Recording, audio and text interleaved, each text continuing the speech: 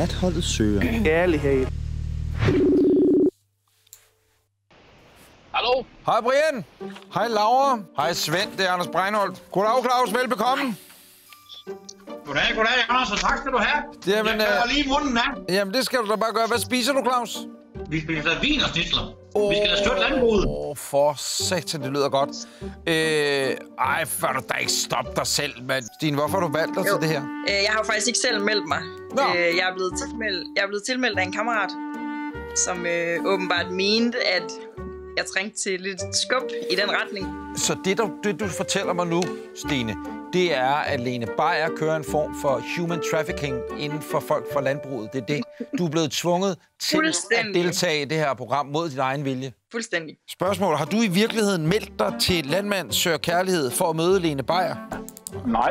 Vil du helst undgå at møde hende i det hele taget, for så kan jeg godt klare det, hvis det er. Ja, det er jo, jeg vil gerne møde hende. Hun, der, hun virker til at være en rigtig sød pige, så, Ja. så det, øh, Det er hun også. det, tager vi med som bon- det tager vi med som bonus. Har du i virkeligheden meldt dig til Landmand Søger Kærlighed kun for at møde Lene Beyer?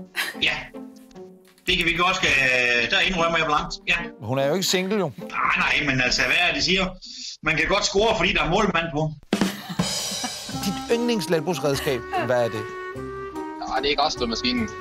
Der er ikke noget som duften af frisk græs. Men jeg har altid været lidt fascineret af sådan en presser. Big Der presser ballepresser. Ja, modsat. Ja, lige øh, præcis. Balle, ballepresseren siger man, det kalder man den. ja. Det er nok min sprøjt, jeg har, selv har lavet, som jeg, som jeg har lavet til at kunne sprøjte med, med min hjemmelavede bryg. Ja. Jeg behøver sikkert at vide mere. Din egen hjemmelavede sprøjte. Massey Ferguson, Fendt, Ford eller John Deere? Case. Og man for helvede. Jeg siger, at du kører i en New Holland. Jamen, der må vi godt nok sige, at du svarede forkert. Ja. Din datter håner mig også hårdt. Hvis du kun måtte vælge et dyr fra din gård, som du skal tage med på en øde ø, hvilket dyr skulle det være, og hvorfor? Ja, men så, jeg- så vil jeg gerne have en ko med Ja, til på en øde uge. Så har du, så har du lidt fødevarer med dig, som man siger. det var ikke på grund af selskabet, det var simpelthen for, at du har dit mad med. Så skulle det være 65-27. Og hvorfor lige 65-27? Hun er bare sådan en, hun er sådan en ko, man lægger mærke til. Ja, det skulle være vores hund. Så tror jeg, det skulle være min skildpadde. Jeg har en øh, kæleskildpadde, det lyder virkelig dumt. Jeg har et... Stop med at se sådan ud. Hvad hedder kæleskildpadden? Den hedder Ninja Turtle selvfølgelig. Naturligvis. Ikke Michelangelo eller D'Angelo, eller den hedder bare Ninja Turtle. Brian, bare ved at kigge på mig, ikke? Tror du så, jeg vil være en god landmand? Det er sådan, når man er rødt så er man ikke god til at gå ud, er det ikke sådan her? Brian, det var en fornøjelse at tale med dig. Tror du så, at Laura, når du kigger på mig nu, at jeg vil være en god landmand? Du lyder som Peter Ingemann. Claus, nu lukker jeg lige øjnene. Og hvis jeg så kan få dig til at sige velkommen til Størst i Dubai.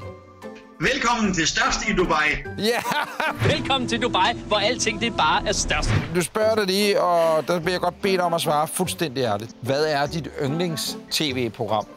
Jeg ser jo mange klip fra natholdet på internettet. Det er meget spændende. Nå ja, tak skal du have, jo, øh, Hvad, hvad er dit yndlingsklip fra natholdet? åh, det er jo Kurt Ringman Larsen. Han er i handelshumør. Han giver også en pøls. Ej, øh, det er jo nok... Øh, jamen, skal vi ikke sige badehotel? Utroligt. Kan, kan du da ikke bare sige natholdet? Hvad er dit yndlings-tv-program, hvor du virkelig tænker, Nå ja, der øh, ynder jeg da lige at slutte dagen af på en rigtig god måde med et lille grin på, på læben. det er et godt spørgsmål. Jamen, der er der kun ét program. Altså, lige så snart spørger Charlie lige væk, så er vi over på natholdet. Sådan, det er godt at høre. Det er godt at høre. Det er rigtig godt at høre.